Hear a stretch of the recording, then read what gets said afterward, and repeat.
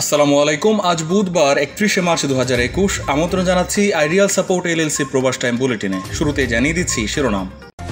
করোনার কারণে ফের আউটপাসের সময়সীমা বাড়ালো ওমান। ওমানে লাফিয়ে লাফিয়ে বাড়ছে আক্রান্ত মৃতের সংখ্যা।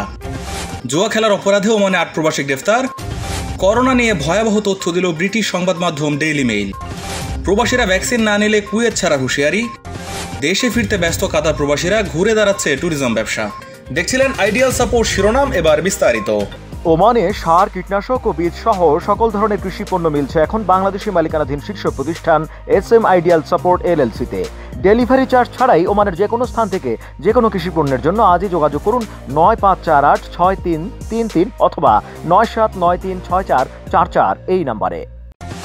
মহামারী করোনা সংক্রমণ বৃদ্ধির কারণে একত্রিশে মার্চের পরিবর্তে আগামী ত্রিশে জুন পর্যন্ত সাধারণ ক্ষমার সময়সীমা বাড়ানো হয়েছে বলে জানিয়েছে ওমানের শ্রম মন্ত্রণালয়। নতুন ঘোষণা অনুযায়ী দেশটির অবৈধ প্রবাসীরা আগামী ত্রিশে জুন নাগাদ সময় পাচ্ছেন কোনো ধরনের জরিমানা ছাড়াই ওমান ছাড়ার। সেই সাথে যেসব প্রবাসী অবৈধভাবে ইরান, দুবাই, পাকিস্তান অথবা অন্য দেশ থেকে ওমান প্রবেশ করেছেন, তারাও এই সুযোগটি গ্রহণ করে কোনো ধরনের জরিমানা ছাড়াই নিজ দেশে ফেরত যেতে পারবেন।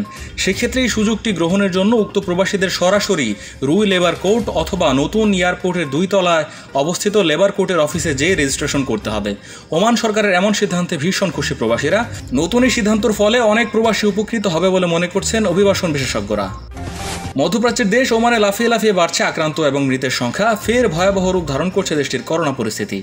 একের পর এক পদক্ষেপ গ্রহণ করেও লাগাম টানা যাচ্ছে না করোনার। বুধবার ওমান স্বাস্থ্য মন্ত্রণালয়ের দেওয়া তথ্য অনুসারে দেশটিতে আজ নতুন আক্রান্তের সংখ্যা এক হাজার একশো বাষট্টি জন এবং মৃত নয় জন। গতকালের চেয়ে আজ মৃত বেড়েছে দুইজন দেশটিতে বর্তমান করোনা পরিস্থিতি খুবই ভয়াবহ বলে জানিয়েছেন বিশেষজ্ঞরা। হাসপাতালগুলো ভরে যাচ্ছে রোগীতে। আইসিইউ শূন্য হচ্ছে অনেক হাসপাতাল। চিকিৎসা সেবা দিতে হিমশিম খাচ্ছে দেশটির স্বাস্থ্যকর্মীরা। ইতিমধ্যেই দেশের বিভিন্ন হাসপাতাল হাসপাতালে আইসিইউ বেডের সংখ্যা বাড়ানো হচ্ছে বলে জানিয়েছে মন্ত্রণালয়। বর্তমান আইসিইউতে ভর্তি রোগীর সংখ্যা একশো ছাপ্পান্ন জন।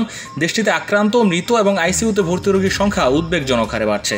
এখন পর্যন্ত মোট আক্রান্তের সংখ্যা এক লাখ উনষট হাজার দুশো আঠারো জন এবং মোট সুস্থের সংখ্যা এক লাখ তেতাল্লিশ হাজার নশো ছেষট্টি জন। নতুন নয় জনের মৃত্যুসহ মোট মৃতের সংখ্যা এক হাজার ছশো আটাত্তর জন। আজ নতুন সুস্থের সংখ্যা পাঁচশো আটষট্টি জন। গত চব্বিশ ঘন্টায় দেশের বিভিন্ন হাসপাতালে নতুন ভর্তি রোগীর সংখ্যা আটষট্টি জন। এখন পর্যন্ত দেশের বিভিন্ন হাসপাতালে চিকিৎসাধীন অবস্থায় আছেন পাঁচশো পনেরো জন। মহামারী করোনার সংক্রমণ নিয়ন্ত্রণে দেশটিতে চলছে রাত্রিকালীন লকডাউন এতেও ভালো ফলাফল না মিললে পরবর্তীতে পুরো লকডাউন সহ আরও কঠোর পদক্ষেপ নেওয়ার কথা জানিয়েছে দেশটির স্বাস্থ্য মন্ত্রণালয়। সুতরাং লকডাউনে যাতে করে গত বছরের মতো কোনো ধরনের ভোগান্তিতে না পড়তে হয়, সেজন্য সকলকে অন্তত এক মাস চলার মতো নগদ অর্থ সাথে রাখতে অনুরোধ জানিয়েছেন ওমানের বিশিষ্ট বাংলাদেশি প্রবাসীরা। সেই সাথে যারা এই মুহূর্তে দেশ থেকে পুনরায় ওমান যাওয়ার অপেক্ষা করছেন, তাদেরকে দ্রুত ওমান যেতে পরামর্শ দেওয়া হয়েছে। এছাড়াও যারা ওমান থেকে দেশে আসতে চাচ্ছেন তাদেরকেও দ্রুত দেশে আসতে বলা হয়েছে।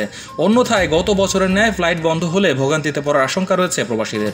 এদিকে পরিস্থিতি নিয়ন্ত্রণে নিতে ওমান সরকারের সকল নির্দেশনা মেনে চলতে নাগরিক এবং প্রবাসীদের অনুরোধ জানিয়েছে ওমান স্বাস্থ্য মন্ত্রণালয়। অন্যথায় আইন অমান্যকারীদের বিরুদ্ধে কঠোর ব্যবস্থা নেওয়ার হুঁশিয়ারি দিয়েছে ওমান সুপ্রিম কমিটি। এদিকে বাংলাদেশেও আজ গত আট মাসের সর্বোচ্চ মৃত্যু হয়েছে। গত চব্বিশ ঘন্টায় মারা গিয়েছেন আরও বাহান্ন জন, যা গত আট মাসের মধ্যে সর্বোচ্চ। এছাড়া দেশের ইতিহাসে গত চব্বিশ ঘন্টায় সর্বোচ্চ পাঁচ হাজার তিনশো আটান্ন জন করোনা রোগী শনাক্ত হয়েছেন। এ নিয়ে দেশে এখন পর্যন্ত মোট রোগীর সংখ্যা দাঁড়িয়েছে ছ লাখ এগারো হাজার দুশো পঁচানব্বই জনে। করোনা নিয়ন্ত্রণে ওমান সুপ্রিম কমিটির আইন লঙ্ঘন করে জনসমাগম করার অপরাধে আটজন প্রবাসীকে গ্রেফতার করেছে রয়্যাল ওমান পুলিশ। আজ এক বিবৃতিতে পুলিশ জানিয়েছে, আটককৃতরা ওমানের দক্ষিণার সার্কিয়া অঞ্চলে জমায়েত হয়ে জুয়া খেলছিল, যে কারণে তাদেরকে গ্রেফতার করা হয়েছে। তবে আটককৃতরা কোন দেশের নাগরিক তা জানায়নি পুলিশ। তাদের বিরুদ্ধে আইনি প্রক্রিয়া সম্পন্ন করা হয়েছে বলে জানিয়েছে পুলিশ। বেশ কয়েকদিন ধরে ওমানের ব্যারোমিটারের পারদ ঊর্ধ্বমুখী অর্থাৎ বেরিয়ে চলেছে দেশটির তাপমাত্রা। প্রচণ্ড দাবদাহে পুড়ছে গোটা দেশ। বুধবার ওমান নিউজ এজেন্সি জানিয়েছে, আজ ওমানের সর্বোচ্চ তাপমাত্রা রেকর্ড করা হয়েছে মাহুত অঞ্চলে, অত্র অঞ্চলে বিয়াল্লিশ দশমিক আট ডিগ্রি সেলসিয়াস তাপমাত্রার কথা জানিয়েছে ওমানের আবহাওয়া অধিদপ্তর। সেই সাথে দেশটির সর্বনিম্ন তাপমাত্রা ষোলো দশমিক পাঁচ ডিগ্রি রেকর্ড করা হয়েছে সাইক অঞ্চলে। এদিকে বাতাসে অস্বাভাবিক আর্দ্রতা সারাদিন কাঠ ফাটা রোদ। সব মিলিয়ে দেশটির জনজীবন অতিষ্ঠ। তীব্র গরমে করোনার পাশাপাশি বিভিন্ন স্বাস্থ্য সমস্যা ও রোগ ব্যাধি বাড়ছে।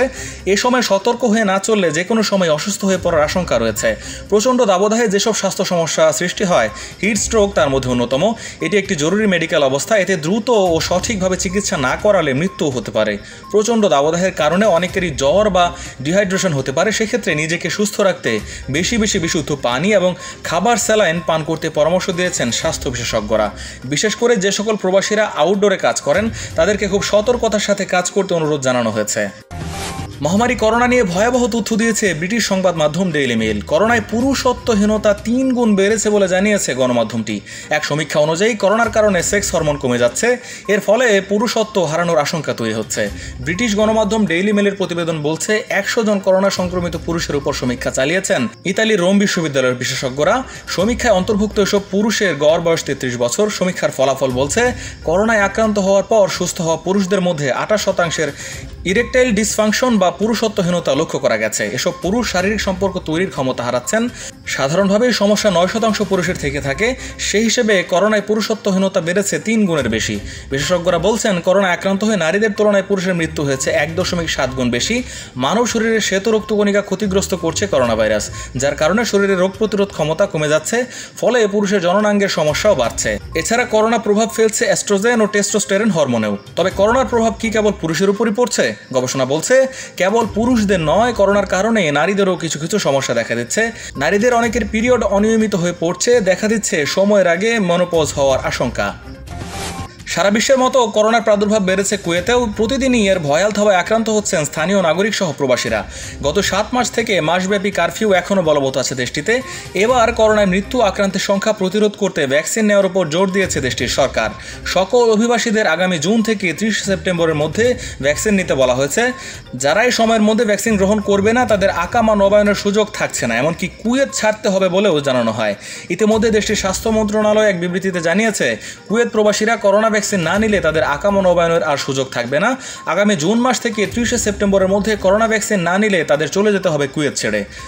দেশটিতে যারা এখনও অনলাইন টিকা গ্রহণের তালিকাভুক্ত করেনি, তাদের জোর তাগিদ দিয়েছে কুয়েতের স্বাস্থ্য মন্ত্রণালয়। করোনা প্রতিরোধে কুয়েত সরকারের সময় উপযোগী পদক্ষেপের প্রশংসা করেছেন প্রবাসী বাংলাদেশিরা। এ প্রক্রিয়ায় ভ্যাকসিন নিলে আক্রান্ত ও মৃতের সংখ্যা কমে যাবে বলে মনে করেন তারা।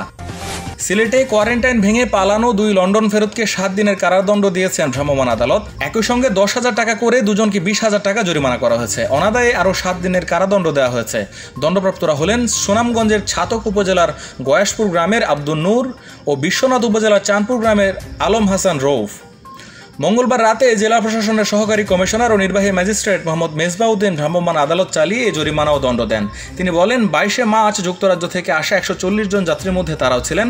সরকারি নির্দেশনা অনুযায়ী তাদের সাত দিনের প্রাতিষ্ঠানিক কোয়ারেন্টাইনের জন্য নগরের দরগা গেটস্থ হোটেল স্টার প্যাসিফিকের সাতশো তিন ও সাতশো চার নম্বর কক্ষে রাখা হয়। এরপর উনত্রিশে মার্চ তারা করোনা পরীক্ষার জন্য নমুনা দেন।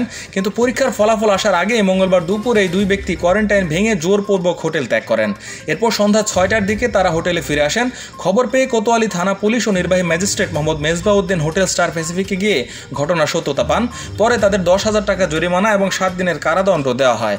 জরিমানা আদায়ের পর দণ্ডিতদের রাত দশটার দিকে সিলেট জেলা কারাগারে পাঠানো হয়েছে বলে জানিয়েছেন সিলেট মহানগর পুলিশের অতিরিক্ত উপপুলিশ commissioner B M Ashrafullah Taher. এর আগে নগরীর আম্বরখানাস্থ হোটেল ব্রিটেনিয়া থেকে একই পরিবারের নয় সদস্য কোয়ারেন্টাইন থেকে পালিয়ে গ্রামের বাড়ি চলে যান। পরে তাদের মধ্য থেকে প্রাপ্তবয়স্ক ছয়জনকে তিন হাজার টাকা করে জরিমানা করা হয়। মহামারী করোনা ভাইরাসের সংক্রমণ ঠেকাতে গত বছরের ন্যায় এবছরও মসজিদুল হারাম ও মসজিদে নববীতে সম্মিলিত ইফতার ও ইতিকাফ বন্ধ ঘোষণা করা হয়েছে। এই দুই মসজিদ পরিচালনা কমিটির প্রধান Sheikh Abdur Rahman Al Sudais Saudi গ্যাজেটের এক প্রতিবেদনে এই সিদ্ধান্তের কথা জানিয়েছেন। তিনি আসন্ন রমজান মাস উপলক্ষে পরিচালনা কমিটির বাৎসরিক বৈঠকে এই কথা ঘোষণা করেন। Sheikh Abdur Rahman Al Sudais বলেন, আমাদের মূল লক্ষ্য থাকবে সতর্কতা অবলম্বন করে করোনার বিস্তার রোধ করা। যারা ওমরা ও ইবাদতের জন্য আসবেন তাদের টিকা নিতে হবে, শারীরিক দূরত্ব বজায় রেখে মাস্ক পরে চলাচল করতে হবে। আমরা স্বাস্থ্যবিধি মেনে মুসলমানদের বরণ করে নিতে পুরোপুরি প্রস্তুত। যারা উমরা করবেন, মাতাফে শুধু তারাই প্রবেশ করতে পারবেন। যারা নামাজ পড়বেন, তারা পূর্ব দিকের অংশে নামাজ পড়বেন। এর আগে সৌদি কর্তৃপক্ষের ঘোষণা অনুযায়ী রমজানে মসজিদে নবমীতে তারাবি নামাজ অনুষ্ঠিত হবে। যুক্তরাজ্য সহ ইউরোপ থেকে আগত সকল যাত্রীকে সরকারি কোয়ারেন্টাইন সেন্টার বা সরকার নির্ধারিত আবাসিক হোটেলে নিজ খরচে চোদ্দ দিনের বাধ্যতামূলক কোয়ারেন্টাইনে থাকতে হবে।